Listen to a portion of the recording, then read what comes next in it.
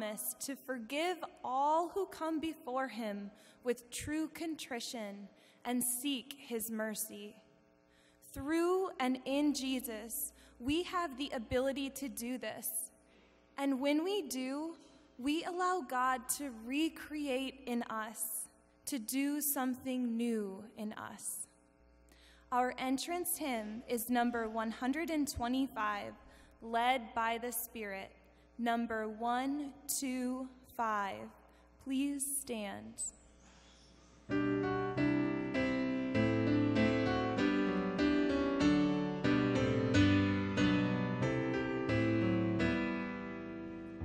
Led by the Spirit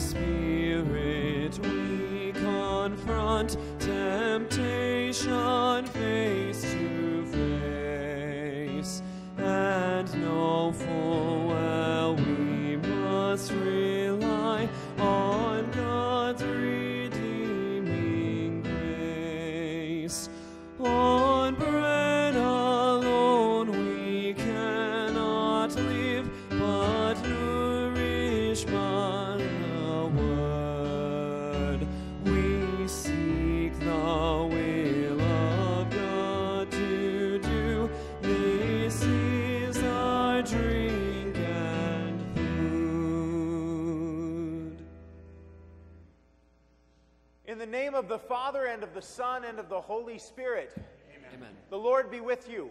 And with your spirit. My friends, let us call to mind our failings so as to prepare ourselves to celebrate these sacred mysteries.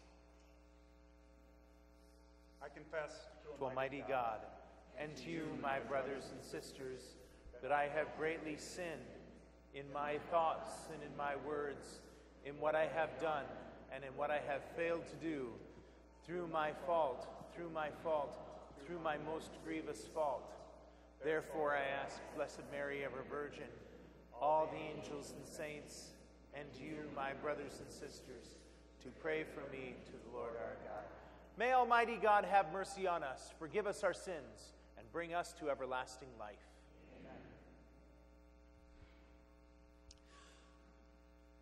Kyrie eleison, Kyrie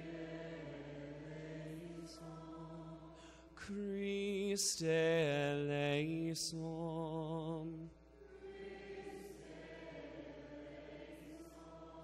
Kyrie eleison.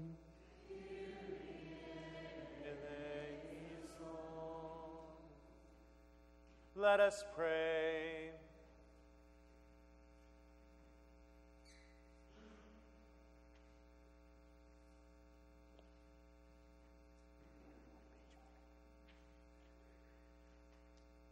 By your help, we beseech you, Lord our God.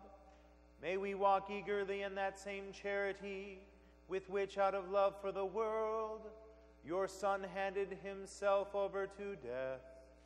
Through our Lord Jesus Christ, your Son, who lives and reigns with you in the unity of the Holy Spirit, one God, forever and ever. Amen.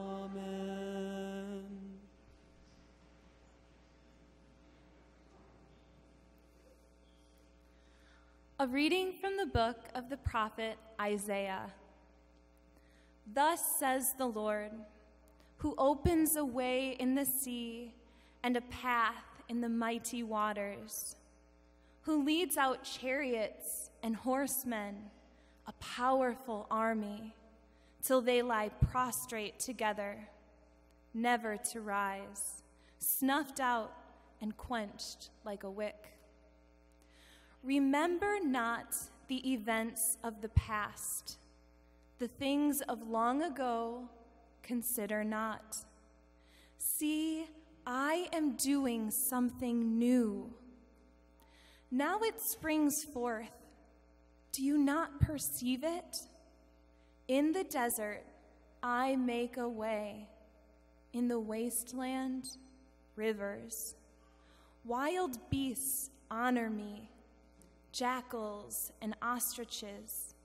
For I put water in the desert and rivers in the wasteland for my chosen people to drink, the people whom I formed for myself, that they might announce my praise. The word of the Lord.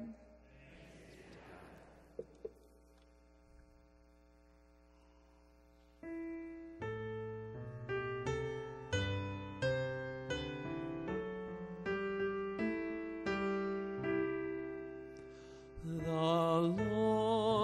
has done great things for us. We are filled with joy. The Lord has done great things for us.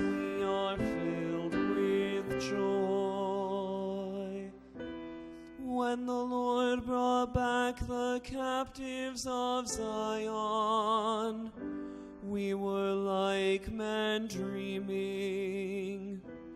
Then our mouth was filled with laughter, and our tongue with rejoicing. The Lord has done great things for us. We are filled with joy. They said among the nations, The Lord has done great things for them. The Lord has done great things for us. We are glad indeed. The Lord has done great things for us. We are filled joy. Restore our fortunes, O Lord, like the torrents in the southern desert. Those that sow in tears shall reap rejoicing. The Lord has done great for us. We are filled with joy. Although they go forth weeping, carrying the seed to be sown, they shall come back rejoicing, carrying their sheaves. The Lord has done great things for us. We are filled with joy.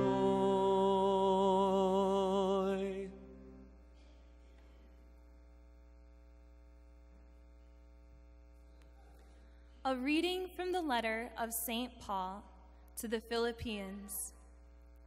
Brothers and sisters, I consider everything as a loss because of the supreme good of knowing Christ Jesus my Lord. For his sake, I have accepted the loss of all things, and I consider them so much rubbish that I may gain Christ and be found in him, not having any righteousness of my own based on the law, but that which comes through faith in Christ, the righteousness from God, depending on faith to know him and the power of his resurrection, and the sharing of his sufferings by being conformed to his death, if somehow I may attain the resurrection from the dead. It is not that I have already taken hold of it or have already attained perfect maturity, but I continue my pursuit in hope that I may possess it, since I have indeed been taken possession of by Christ Jesus. Brothers and sisters, I, for my part, do not consider myself to have taken possession.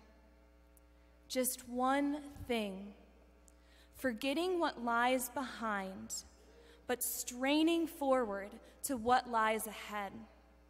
I continue my pursuit toward the goal, the prize of God's upward calling in Christ Jesus.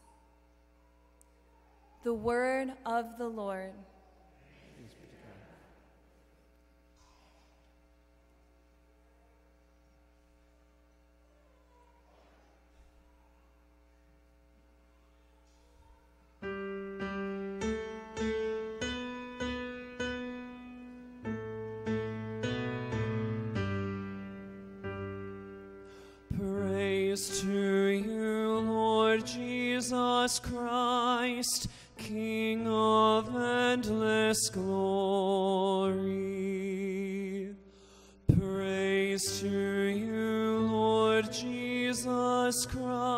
Christ, King of endless glory. Even now, says the Lord, return to me with your whole heart, for I am gracious and merciful.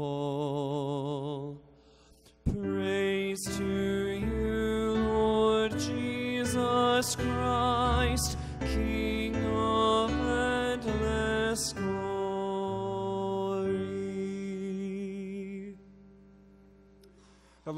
be with you. And with your spirit. A reading from the Holy Gospel according to John.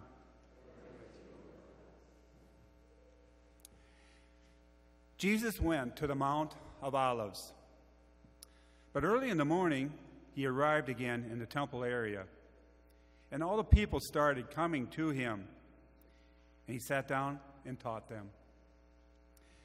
Then the scribes and the Pharisees brought a woman who had been caught in adultery and made her stand in the middle. They said to him, Teacher, this woman was caught in the very act of committing adultery. Now, in the law, Moses commanded us to stone such a woman. So, what do you say? They said this to test him, so that they could have some charge to bring against him. Jesus bent down and began to write on the ground with his finger. But when they continued asking him, he straightened up and said to them, Let the one among you who is without sin be the first to throw a stone at her. Again, he bent down and rolled on the ground. And in response, they went away, one by one, beginning with the elders. So he was left alone with the woman before him. Then Jesus straightened up and said to her, Woman, where are they? Has no one condemned you? She replied, No one, sir. And Jesus said, Neither do I condemn you. Go, and from now on, do not sin anymore. The Gospel of the Lord.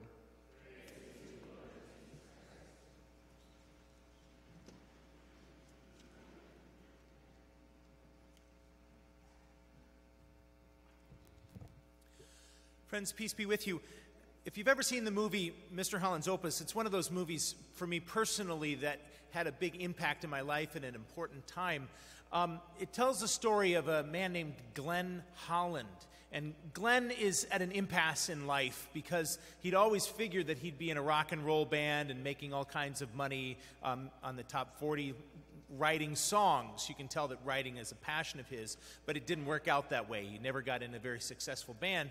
And so, as he's just married this new, or his wife, uh, they decide that they need to make some money. So he does what was supposed to be a fallback occupation for him. He kind of has the attitude that people think about teaching, which is those who can do and those who can't teach, which generally is a pretty good formula for failed teacher, to be honest with you. Because if you're not passionate about teaching, you're going to be bad. And that's what happens to Mr. Holland. He walks into the high school that he's at, and it's very 1960s, early 1960s, uh, before the rebellion of the later 1960s and 70s. Um, and all kinds of paradigmatic scenes, but the, the one that comes immediately to mind is he gives his first test. And he's very frustrated at home with his new wife, who finds out that she's pregnant and all kinds of things. And he goes back and he says, Name, one of the questions was, Name three American composers. And one writes Johann Sebastian Bach, the great German medieval composer. And clearly, the person had no. I think they write so, Johann Sebastian Bach question mark, which is whenever you put a question mark on a test, that's a mark of confidence right there, right? he realizes he's just not connecting with the students for one reason or another. And so he says, I need to do things different. I need to start new. Let's start afresh. And he walks over to the piano and he plays this song and he says, Who wrote this? And they said, well, it's called Lover's Concerto. And he slams the piano bench down, or the, uh, the uh, front of the piano down and goes, Wrong. It's written by Johann Sebastian Bach. It's just that it was redone in the 1960s as a pop song called Lover's Concerto. And he says, I want to show you how classical music is not dead, but that it is the fabric through which pop music, through which all music comes, that it has its roots in other places, and we need to look at what those roots are before we just die. It was for him a way of doing things new. Now, he didn't rewrite music, he didn't rewrite an entire curriculum. He just knew with this group he needed to start anew. And that they needed to start anew, to hear music in a new way. That it wasn't just something that was fun to dance to or something that you can bob your head to. It had to be something that they could connect to in a different way, in a new way. I make all things new, says the Lord in chapter 42 of the book of Isaiah. So, what do we do with the first 41 chapters if he's starting all anew? Well, it's again, I don't think that the Lord is saying, we're going to rewrite all of Judaism. In fact, we're going to change Judaism's name to something completely different. We're going to, we're going to rebrand it. No more of the, the rules and laws of Leviticus and Deuteronomy. We're just going to do all things new. No, that, that couldn't be any farther from the truth. To understand how we're going to do things anew in chapter 42, you have to understand something about the book of Isaiah. Isaiah is a uniquely uh, Lenten book. I think it's good for us to reflect upon it because there are sort of three different visions. We like the number three in Lent prayer, fasting, almsgiving, Father, Son, Holy Spirit. Um, there are these three visions of the book of Isaiah. The first one happens chronologically first as well. And what's happening is Isaiah looks out toward the east and he says, You see that army that's coming over there, those Babylonians that are coming? We can't defeat them on our own. We've wandered far away from God, and now is the time for us to return to the Lord, ask for God's assistance, and if we do, God will protect us. So let's all pray. Let's all return with fasting and almsgiving, turn our hearts back to the Lord. Let's do it. The second scene is okay, we didn't return to the Lord, and now we're all in exile in Babylon. They came and they ruined us, and it's all your fault. And it, I'm going to tell you again return to the Lord, and maybe He'll let us go back. And this is all your fault. The third of Isaiah is what we start today. And Isaiah says, okay, now the Lord is saying, I'm going to do things new. It's not that Isaiah, Isaiah is going to rewrite the entire New Testament or throw it out. It actually is more about us doing things new. The Jewish people, the Israelites, needed to do things anew to return to the Lord like they had never done before, to be obedient to God's law, to be in right relationship with God. And when that happens, God says, This is new, isn't it? Now let's go back to your home. And it'll seem like a whole different place when you worship me in spirit and truth. And that's exactly what happens for the remainder of the, the book of, of Isaiah. It's them returning to the Lord and, and cautioning themselves not to slide back in. So it seems to me like something similar is also happening in our gospel today this emphasis of doing something new. The story of the woman caught in adultery is, is one of those stories that really captures my imagination. Imagine Jesus is just standing there, and suddenly this circle of guys is surrounding him, and the, a woman is thrown in the middle of them, and she, they say this woman was caught in the very act of adultery. Now, it takes two to tango here. Where's the dude? Where is the guy that was caught in the act of adultery? Not mentioned. I kind of wonder if he was there with them too. Kind of like, yeah, she was caught in the act of adultery with me. But it's her, you know? well, let's go get her. And so they all gang up. And then Jesus acts disinterested, and they say, Well, what are you going to do about this? And twice he bends down and starts writing in the sand. Some theologians think that the second time that he starts writing in the sand, he writes, So, Judas, um, you stole money from the treasury. And I know that you did, and I'm going to wipe that out. And then he takes his hand and he wipes out the sin. And as Judas looks down and realizes Jesus knows that he did that, he walks away because he realizes that Jesus has just forgiven him that. Oh, yeah, and Eusebius, Eusebius, you stole money from the guy who's standing right next to you. I'm going to forgive that sin, and as is that person. And the two of them walk away. And over and over again, people come forward and they say, Jesus, you need to condemn this person. And you're the guy that was caught in adultery with her, and I'm going to wipe out that sin. And that person walks away. They realize that they have a chance to start things new, to start things afresh, but they need to let go of this fascination and fixation with vengeance that they have for this woman. Instead, they need to recognize that they've had things forgiven as well. Pope John Paul II recognized that we needed something new in the church as well. And it's something that we really are struggling to Im- implement and inculcate a new evangelization.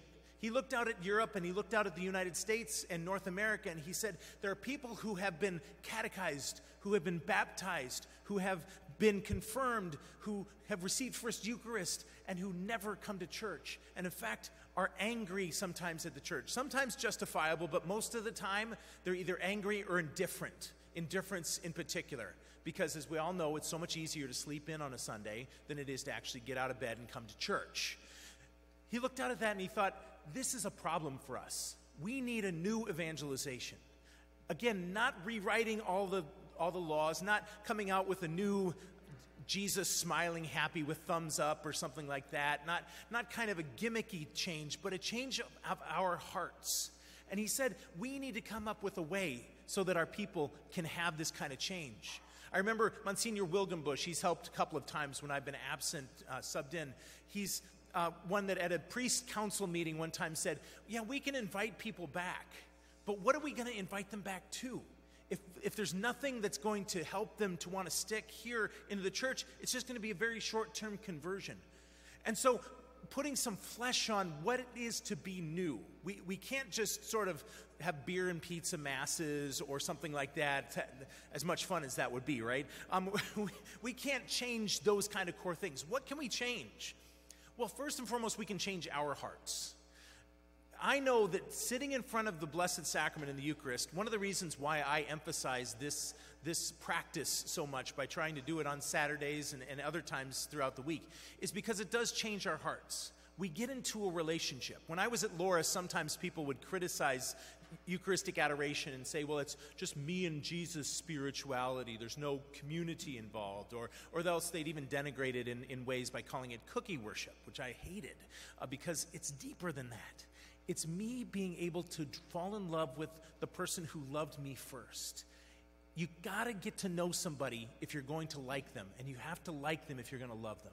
And you have to, it starts with getting to know. them. To me, that's prayer. And I, I, think Eucharistic adoration is a profound way of doing it, but we can do it in many ways. One way that is important is to spend time with Scripture. I don't encourage, by the way, starting at the front of the Bible and just reading it all the way through like it's a textbook because you'll get into Deuteronomy and Leviticus and you'll hate the thing. it's like rule, rule, rule, and the rules are broken up by list of names of people who begat other people, and you're like, oh my gosh, this is terrible. my suggestion instead is to look at the daily mass readings, which we have the citations in, in the Breaking Bread book. They're, they're also on the United States Bishop's website. To spend some time in prayer, encountering the Lord one on one, getting to know the Lord. But you might say, well, Father, I do that. I have a, a time of prayer, uh, praying with Scripture every day. What, what else can I do? Well, I think the sacrament of reconciliation is one of the least used tools that we have. We, I, we, we just simply don't use it as well. And I know you're saying, um, I do other ways of forgiveness. And I, and I also know that for the past 30 years, all we've done is come up with reasons not to go to the sacrament of reconciliation. It started off by saying, well, you really only have to go once a year. Wouldn't we want more grace? Wouldn't we? Don't you want to? Do, is there anything that you just do the least of if, if it's something you look forward to? Uh, it, the sacrament of, of reconciliation can be transformational if we don't just look at the least. And some people say, well, I do the Confiteor at the beginning of Mass, or I do the Lord, I pay attention to the Lord have mercy, and I think that I'm, yeah, I'm not saying that that's not forgiving, but there's something about being accountable at having to name our sins in the sacrament of reconciliation. Or I, I, get anointed once a year, and that sort of takes care of confession. Well, anointing is forgiveness, don't get me wrong, but it's supposed to be healing forgiveness, not necessarily taking the place of the sacrament of reconciliation, especially if you're able to do it. I encourage us to look at the sacrament of reconciliation not as a punishment, but as an opportunity to, to, be accountable to somebody else who's standing in the place of God, even if it's fallible old me sitting on the other side of that screen or in the other chair across from you. But being able to name those things and knowing that God has wiped them out.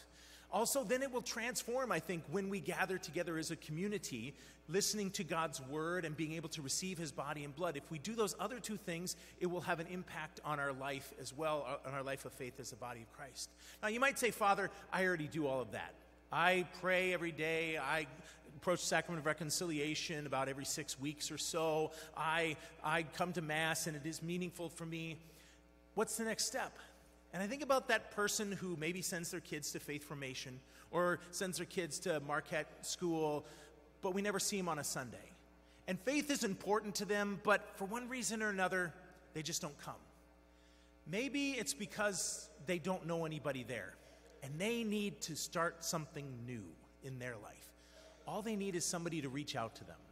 What if we called them up and, and said, and just in the course of conversation, getting to know them, said, Hey, would you want to come to church and sit with me? Because I think one of the reasons people don't come to church is maybe they don't feel like anybody cares if they don't come.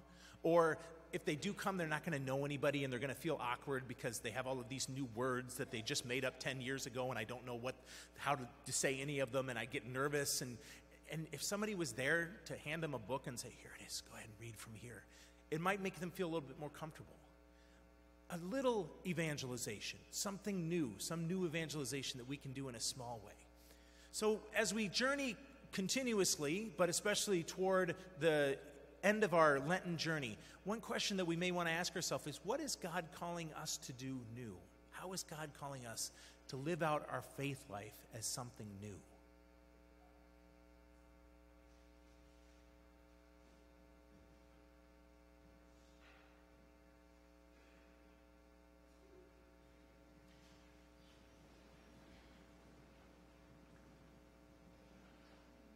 I believe in one God, the Father Almighty, maker of heaven and earth, of all things visible and invisible. I believe in one Lord Jesus Christ, the only begotten Son of God, born of the Father before all ages, God from God, light from light, true God from true God, begotten, not made, consubstantial with the Father. Through him all things were made. For us for our salvation. He came down from heaven and by the Holy Spirit was incarnate of the Virgin Mary and became man. For our sake, he was crucified under Pontius Pilate.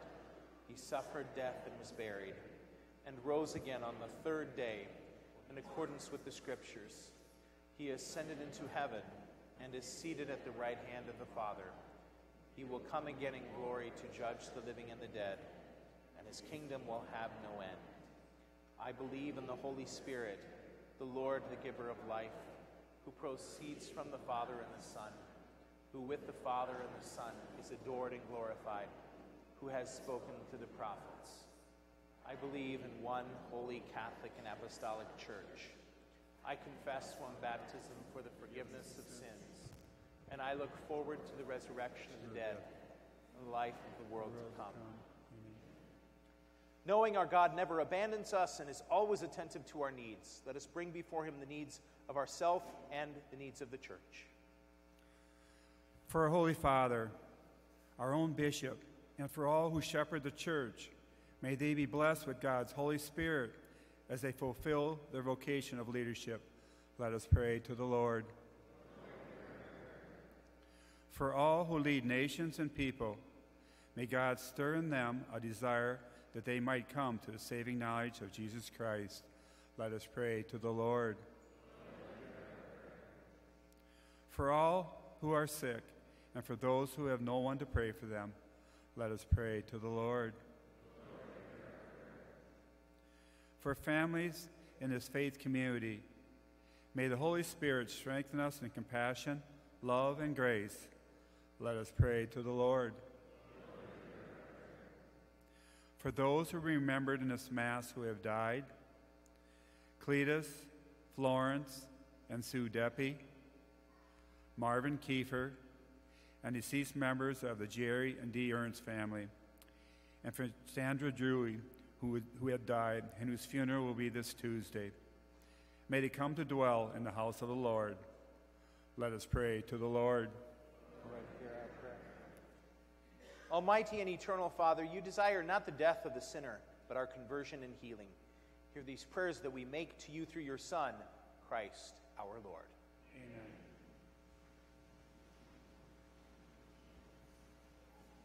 Our song for the preparation of the gifts is number 431 Be Not Afraid, number 431.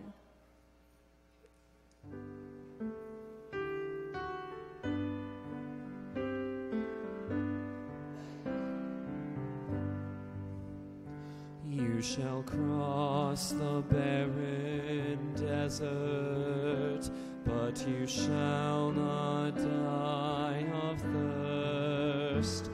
You shall wander far in safety, though you do not know the way. You shall speak your words in foreign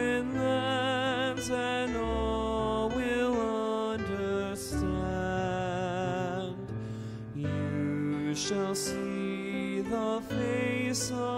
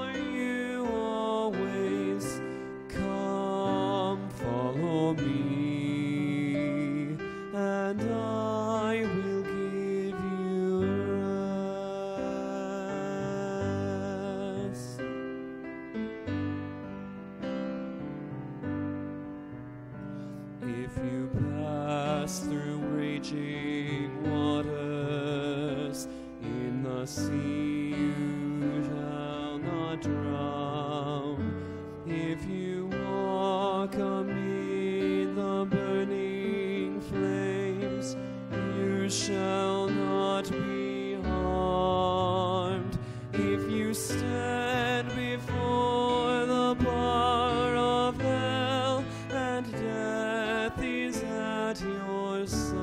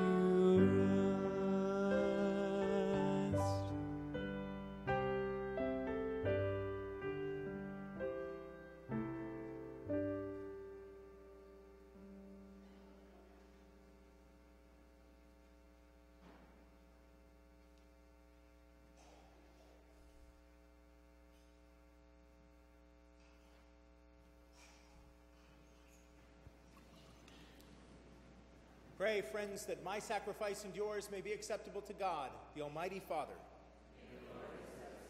Christ into your hands. The praise and glory of his name, for our good of all of us.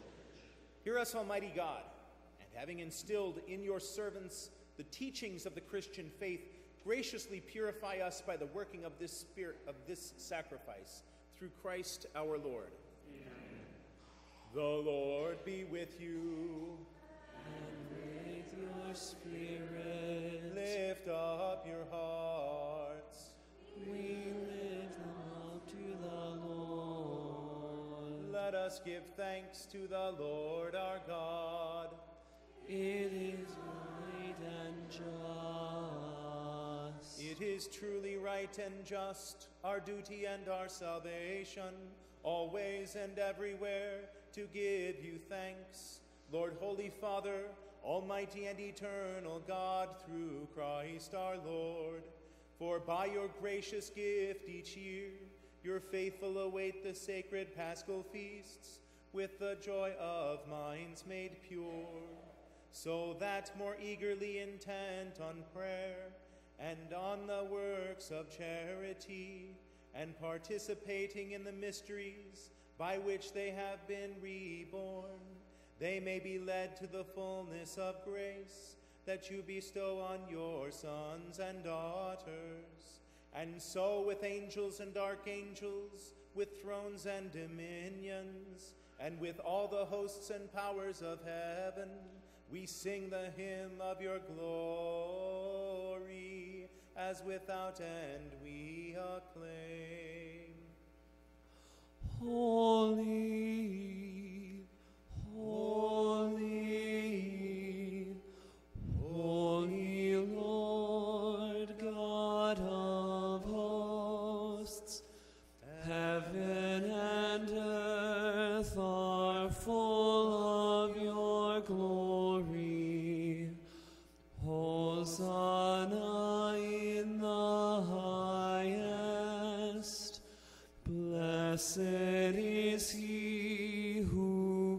comes in the name of the Lord.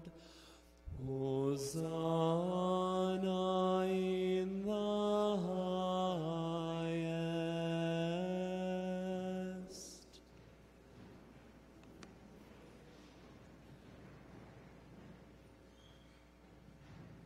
You are indeed holy, O Lord, and from the world's beginning are ceaselessly at work, so that the human race may become holy, just as you yourself are holy. Look, we pray upon your people's offerings and pour out on them the power of your Holy Spirit, that they may become the body and blood of your beloved Son, Jesus Christ, in whom we too are your sons and daughters. Indeed, though we were once lost and could not approach you, you loved us with the greatest love. For your Son, who alone is just, handed himself over to death and did not disdain to be nailed for our sake to the wood of the cross. But before his arms were outstretched between heaven and earth to become the lasting sign of your covenant, he desired to celebrate the Passover with his disciples. As he ate with them, he took bread, and giving you thanks, he said the blessing, broke the bread, and gave it to his disciples, saying, Take this, all of you, and eat of it, for this is my body, which will be given up for you.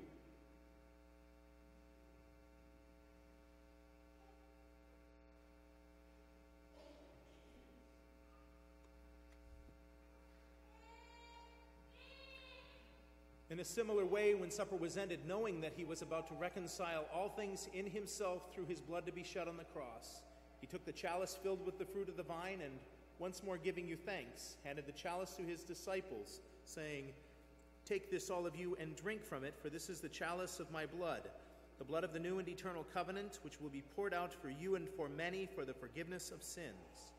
Do this in memory of me.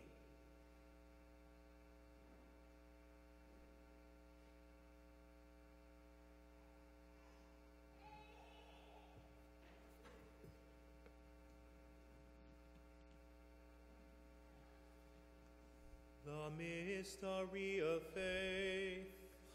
We proclaim your death, O Lord, and profess your resurrection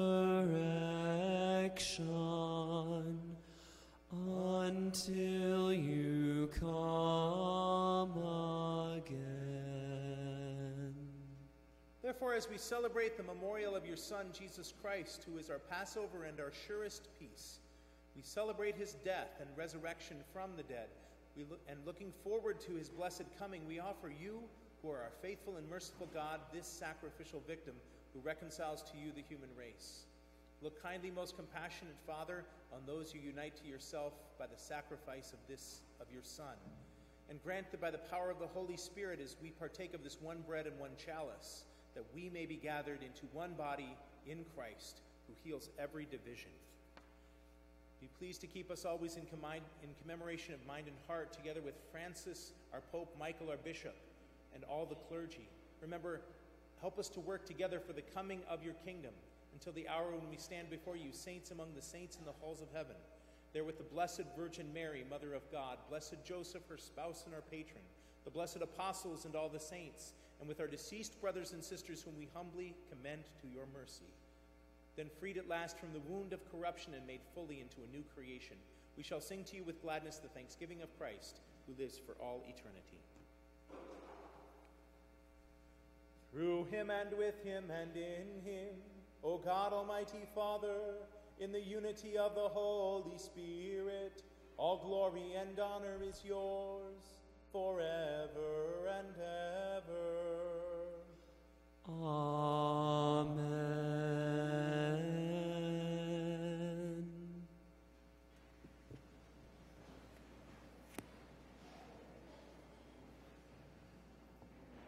At the Savior's command, informed by divine teaching, we dare to say, Our Father, who art in hallowed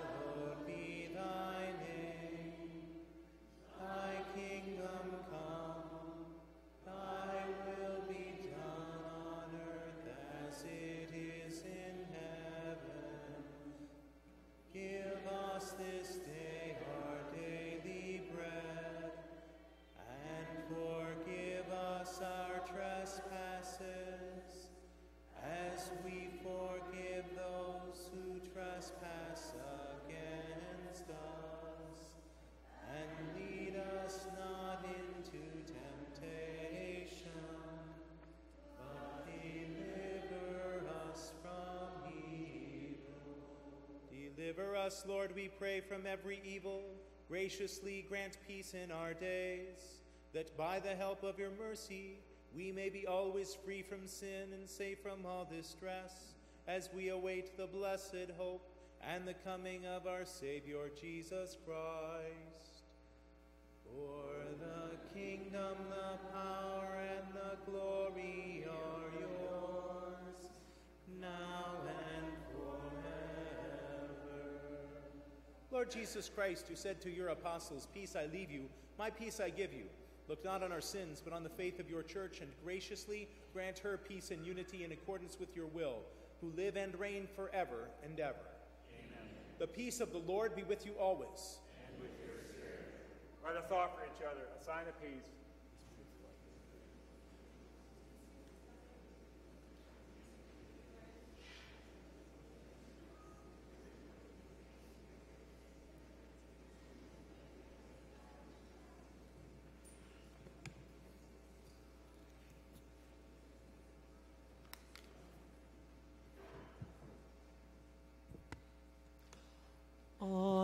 Agnus Dei, qui tollis peccata mundi, miserere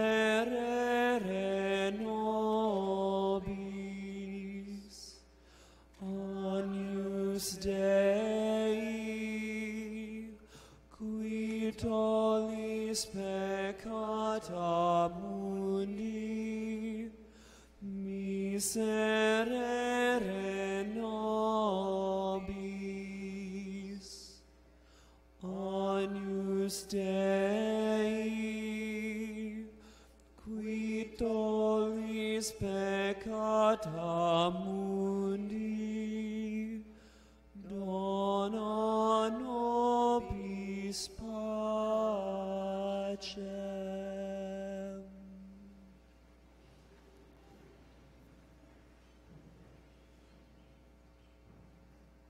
Behold, the Lamb of God. Behold him who takes away the sins of the world. Blessed are those called to the supper of the Lamb. Lord, I am not worthy that you should enter under my roof, but only say the word, and my soul shall be healed.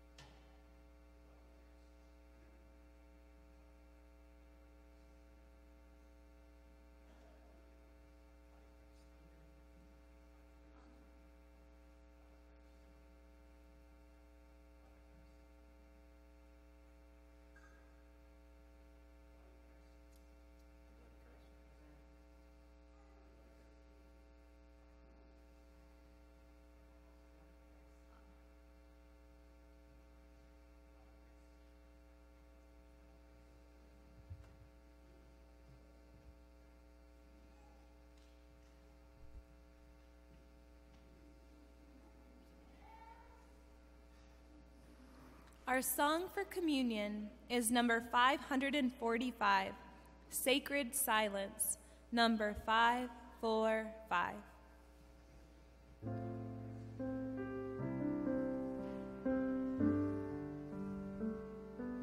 Sacred silence, holy ocean, gentle water washing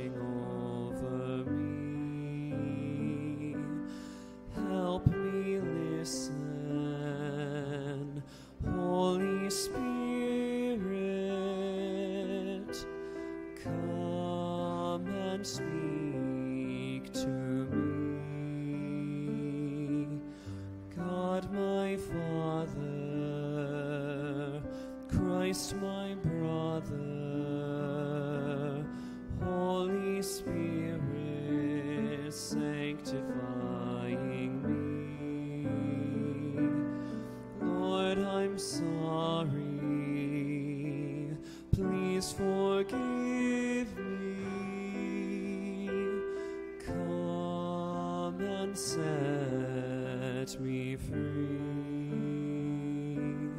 Sacred silence, holy ocean, hold this water washing over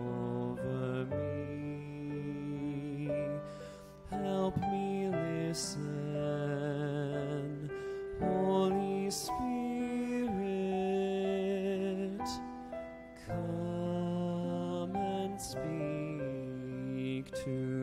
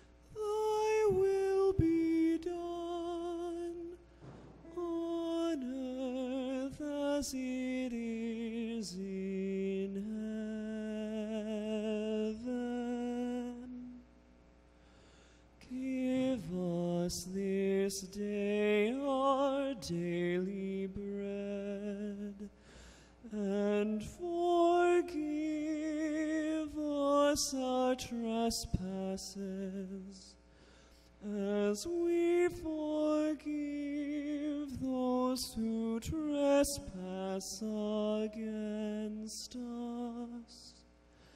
And lead us not into temptation,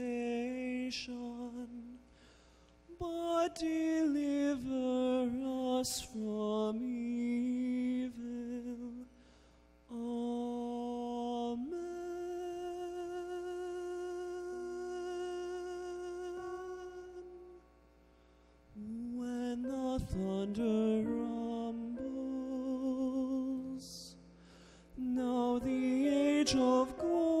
gold is dead, of the dreams we've clung to, dying to stay young, have left us parched and old instead.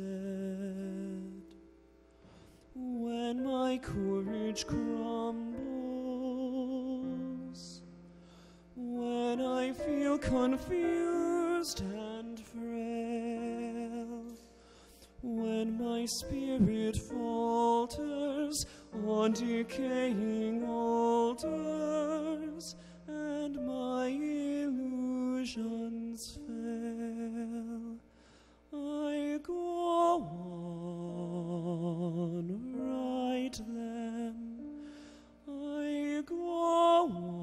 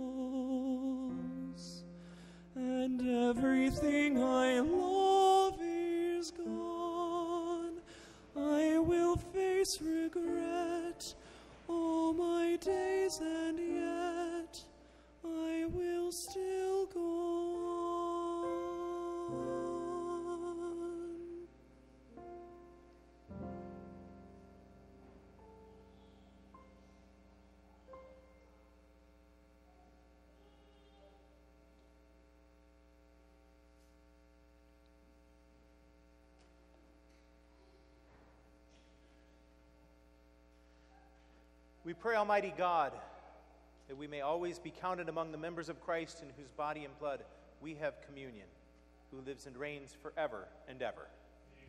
Each month we remember those couples that are celebrating anniversaries of marriage, and so if you were married in the month of April, we invite you to stand, be blessed, and recognized by our community.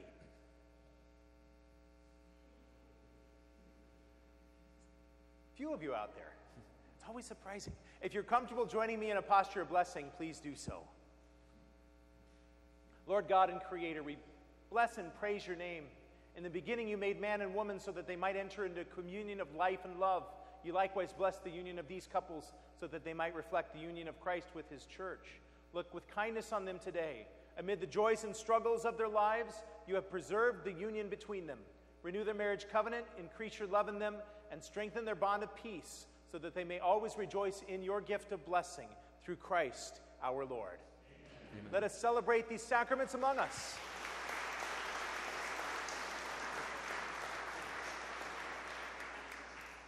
And let us stand. The Lord be with you. May Almighty God bless you, the Father, and the Son, and the Holy Spirit. The Mass is ended. Go in peace. Thanks be to God. The choir practice for the Easter Vigil Mass will be on Wednesday, April 10th at 7:30 p.m. in St. Joseph Church. Our closing hymn is number 137, Lord who throughout these 40 days, number 137.